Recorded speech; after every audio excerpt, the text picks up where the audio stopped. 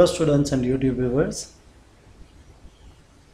இது டெல் ஓஸ்ட்ரோவோட board போர்டோட part number double one two eight zero hyphen one board manufactured by Wistron Corporation போர்டோட complaint என்ன அப்படின்னா கஸ்டமரோட complaint mother board power on ஆகுது display வரல அப்படிங்கிறது. ஸோ இதில் நான் ரேம்லாம் எதுவுமே மாற்றலை காரணம் என்னென்னா எனக்கு டிஸ்ப்ளே வரா மாதிரி ஒரு சிம்டம் ரைட் எப்படின்னா நான் அடாப்டரை கனெக்ட் பண்ணிடுறேன் அடாப்டரை கனெக்ட் பண்ணிவிட்டு நான் போர்டை ட்ரிகர் பண்ணுறேன் பவர் ட்ரிகர் பண்ணுறேன் போர்டோட பவர் பட்டன் நான் ட்ரிகர் கொடுக்கும்போது எனக்கு போர்டு ப்ராப்பராக ஆன் ஆகுது. டிஸ்ப்ளே எக்ஸிக்யூட் ஆகுது அப்படிங்கிறத என்னால் தொண்ணூற்றி ஒன்பது சதவிகிதம் சொல்ல முடியும். காரணம் என்னென்னா என்னுடைய யூஎஸ்பி கேபிளை நான் இங்கே கனெக்ட் பண்ணி caps lock number lock respond பண்ணுதான்னு பார்க்குறேன். எனக்கு ரொம்ப கிளியராக ரெஸ்பாண்ட் பண்ணுது மதர் போர்டு ஸோ நான் பயாஸில் கை வைக்க வேண்டிய வேலை இல்லை.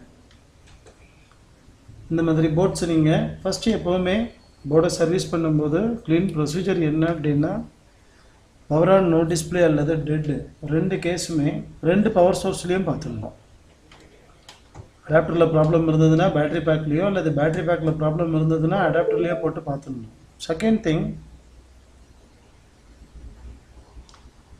பயாஸை ஃப்ளாஷ் பண்ணுறதுக்கு முன்னாடி இன்டர்னலில் வரலனா எக்ஸ்டர்னலில் பார்த்துடணும். எக்ஸ்டர்னலில் வரலனா இன்டர்னலில் பார்த்துடணும். ஸோ தட் பயாஸுக்கு மேலே கை வைக்க மாட்டீங்க. தேவையில்லாமல் பயாஸை ஃப்ளாஷ் பண்ணக்கூடாது. குட் பயாஸும் என்ன ஆகும்னா பேட் ஆகிடும் ஒரு சின்ன தப்பு நடந்ததுன்னா. ஃபைன்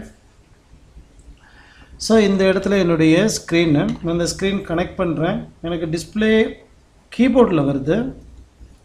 ஸ்க்ரீனை கனெக்ட் பண்ணும்போது ஒரு விஷயம் நல்லா ஞாபகம் வச்சுக்கோங்க.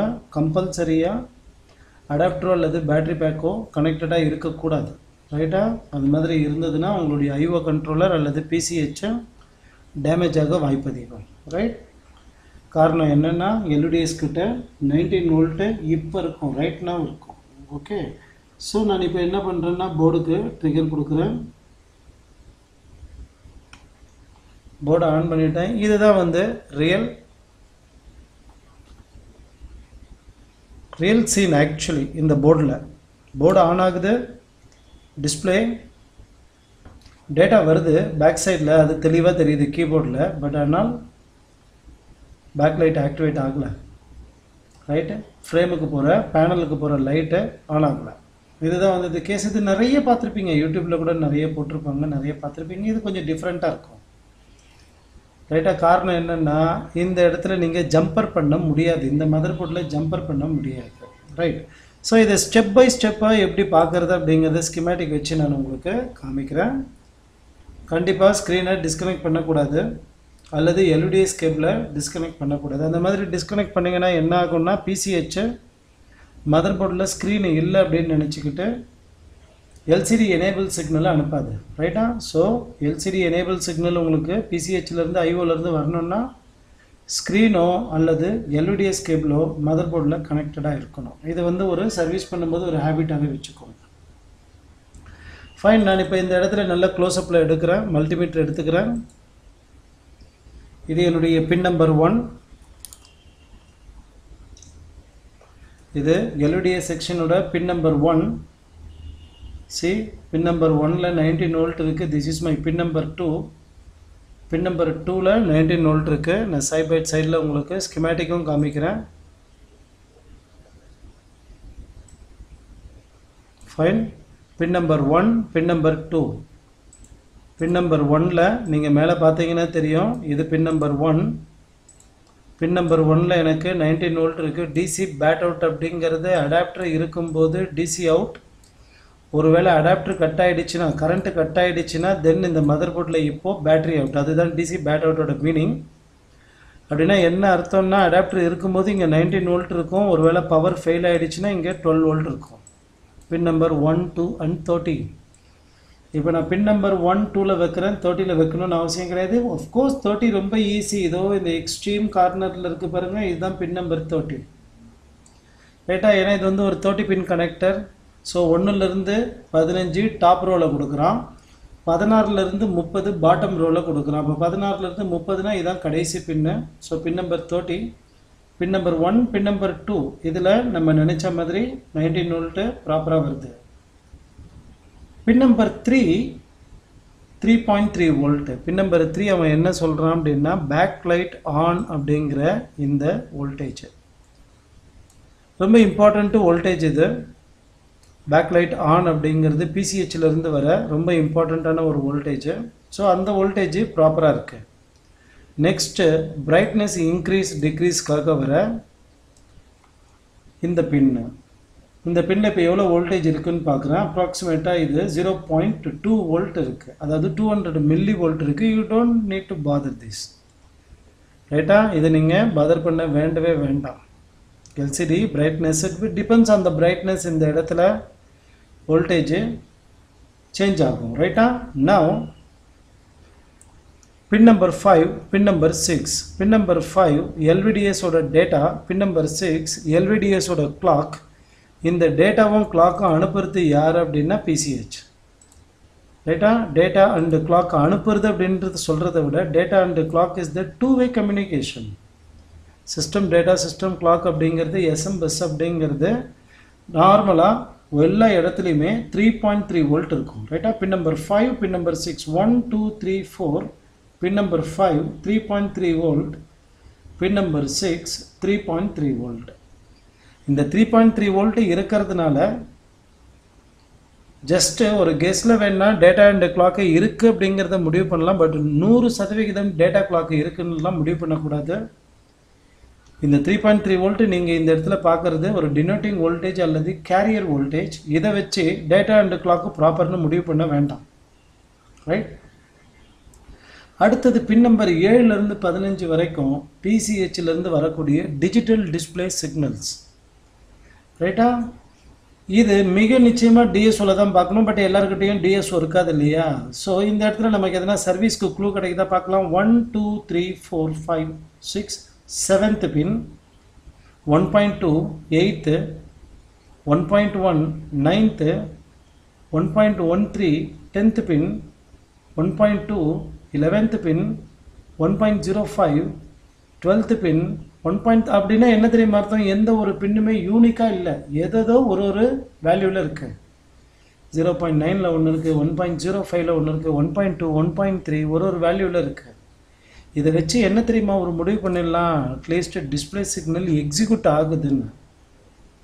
இப்போ இதே விஷயத்தை இந்த மதர் போர்டில் இருக்கிற ரேமை நம்ம அன்பிளக் பண்ணிவிடுவோம் இப்போது நான் இதில் இருக்கிற ரேமை டிஸ்பிளே நான் கம்ப்யூட்டர் ஆஃப் பண்ணிட்டேன். ரேமை எடுத்துட்டேன். போர்டோட ரேமை எடுத்துட்டேன். இப்போ அகைன் நான் என்ன பண்ணுறேன் அப்படின்னா சிஸ்டம்க்கு டிசி பவர் சப்ளை கொடுக்குறேன். ரைட்டாக டிசி பவர் சப்ளை கொடுத்துட்டு போர்டை ட்ரிக் பண்ணுறேன் போர்டை ட்ரிகர் பண்ணுறேன் போர்டு ஆன் ஆகுது. போர்டு ஆன் ஆகிடுச்சு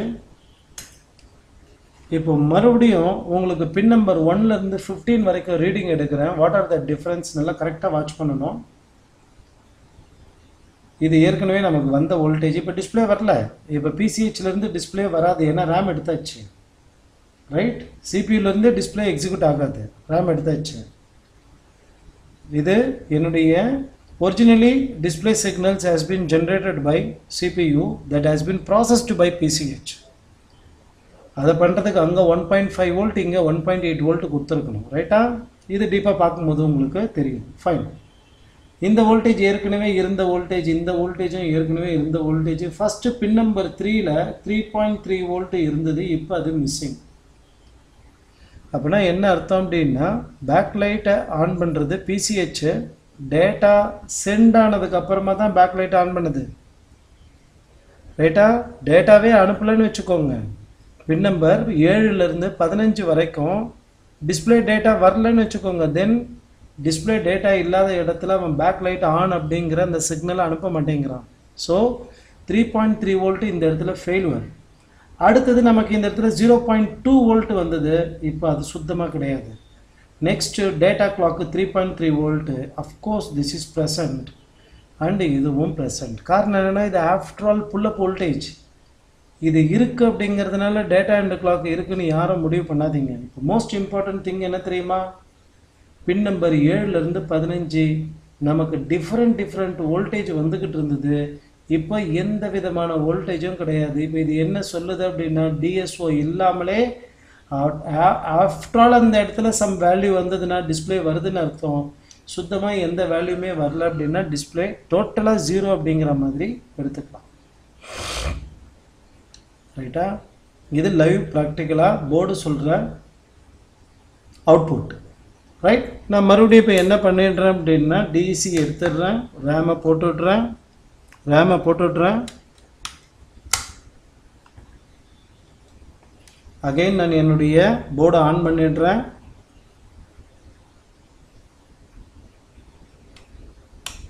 போர்டு ஆன் ஆகிடுச்சு ரைட்டா இப்போ சிக்ஸ்டீன் இந்த பக்கம் மேலே இருக்கிறது தெளிவாக இப்போ மறுபடியும் பார்ப்போமா? அந்த சைடு பார்ப்போமா? இப்போ டேட்டா ஏதாச்சும் எக்ஸிக்யூட் ஆகுதா? வேல்யூ வருதா? Yes one point one volt one point one volt one point two volt one point zero five volt RAM இருக்கும்போது ரேம் இல்லாதப்ப எந்த மாதிரி இருக்குது அப்படிங்கிறது தெளிவாக தெரியுது இல்லையா? Pin number sixteen and seventeen LCD VDD ரொம்ப அதிகமாக ஒரு போர்டில் பிரேக் டவுன் ஆகிறது இந்த வோல்டேஜு இந்த மதர் போர்டில் பிரேக் டவுன் ஆகிருக்கிறதும் இந்த வோல்டேஜ் மற்ற மதர் போர்டில் பண்ணுற மாதிரி நீங்கள் இதில் ஜம்பர் பண்ண முடியாது. ரைட்டா பின் நம்பர் சிக்ஸ்டீன் அண்ட் செவன்டீனில் நான் உங்களுக்கு வச்சு காமிக்கிற பாருங்க. Pin number sixteen and seventeen pin number sixteen nothing pin number seventeen no voltage pin number eighteen three point three volt இது three point three volt is not எங்கேருந்தோ எங்கேயோ போகிற வோல்டேஜ் ரைட்டா பின் நம்பர் நைன்டீன் கேமராவோட voltage இப்போ camera கிடையாது. So இருந்தாலும் இந்த வோல்டேஜ் இல்லைனாலும் நமக்கு ஒன்றும் பாதர் பண்ண வேண்டாம். இதுக்கு மேலே இருக்கிறது எல்லாமே என்னது? கேமரா ஓரியன்ட் தான். அதுக்கப்புறம் எல்லாமே கிரவுண்ட் பண்ணிட்டுறோம். இது எல்லாமே கிரவுண்டு பின் நம்பர் தேர்ட்டி மட்டும் ஹை வோல்டேஜ் நைன்டீன் வோல்ட்டு இப்போ என்னென்னா பின் நம்பர் சிக்ஸ்டீன் அண்ட் செவன்டீனில் நமக்கு வோல்டேஜ் கிடையாது. பின் நம்பர் எயிட்டீனில் மட்டும் ரன் பவர் இருக்குது ஆக்சுவலி எல்லா மதர் போர்ட்லேயுமே இந்த three point three volt run power தான் இந்த இடத்துல ஸ்விட்சிங் ஆகிட்டு போகும். ரைட்டா அதனால் இந்த வோல்டேஜை எடுத்து நீங்கள் இங்கே ஜம்பர் அடிக்கிறதுல கூட எனக்கு தெரிஞ்சு ஒரு ப்ராப்ளமும் கிடையாது. இப்போ நான் ஜம்ப் பண்ணட்டுமா பின் நம்பர் பதினாறு பின் நம்பர் பதினேழு பின் நம்பர் பதினெட்டு. நான் இப்போ பின் நம்பர் பதினேழு பதினெட்டு ரெண்டுத்தையுமே நான் இப்போது ஷார்ட் பண்ணி பிடிச்சிக்கிறேன். இப்போ போர்டை அவுட் ஃபோக்கஸ் பண்ணுறேன் உங்களுக்கு தெளிவாக பார்த்தீங்கன்னா தெரியும். பேக் லைட்டு எனேபிள் ஆகிருக்கும்